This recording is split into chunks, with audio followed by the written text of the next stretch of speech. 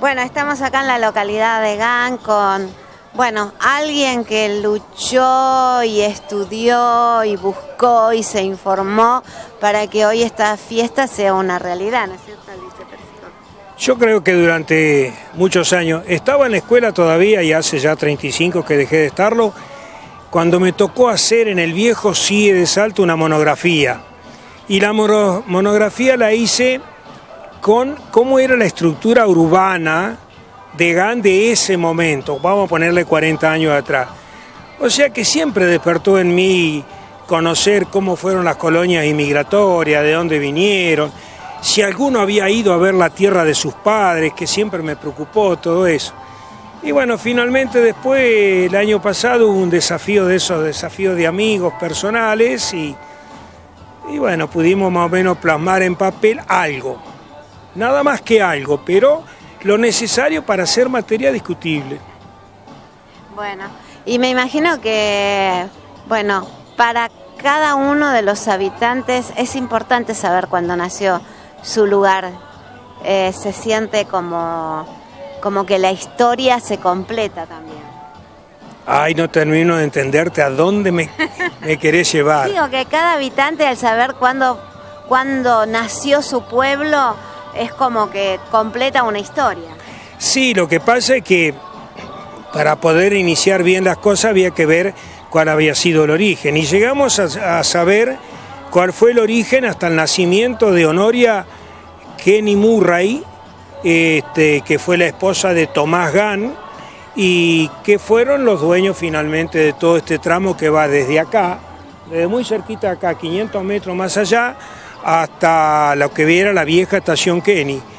Este, y yo estoy convencido, no hay hechos posteriores que me demuestren lo contrario, no por capricho, por hecho positivo, de que la conjunción entre un dueño o los dueños, vamos a ponerle que fue el matrimonio, porque Tomás Gán murió en el 90 y el tren llegó en el 96, pero las tierras ya la habían donado, entre la conjunción de dueños que donaron sus tierras, y un empresario visionario que puso los rieles, que debe señalarse como el hito fundamental o la piedra fundamental del nacimiento de este pueblo.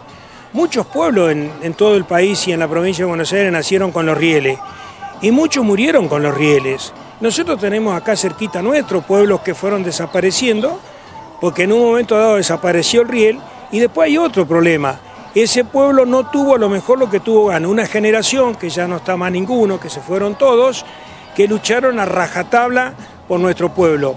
Los que podían con la billetera y los que no podían con sus brazos. Y hasta los con billetera también ponían sus brazos, sus autos, todo lo que fuera necesario. Y otros pueblos no han tenido eso, yo lo que noto.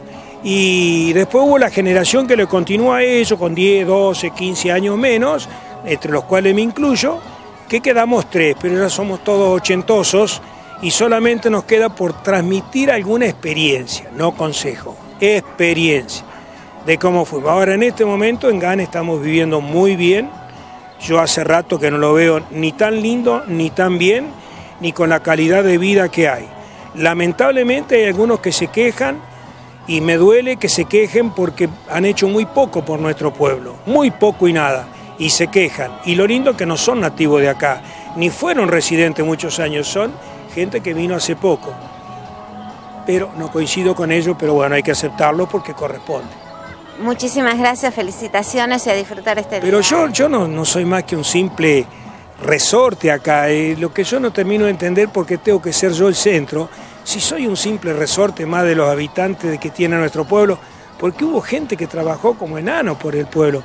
A lo mejor yo sí siempre fui un charlatán de feria, como quien dice, viste, y hablé y hablé y hablé.